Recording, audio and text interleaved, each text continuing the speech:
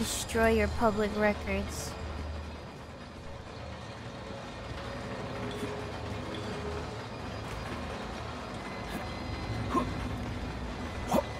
Ah, they don't let you put yourself in the meat grinder. Boo!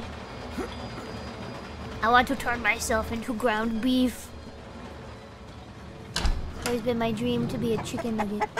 Oh.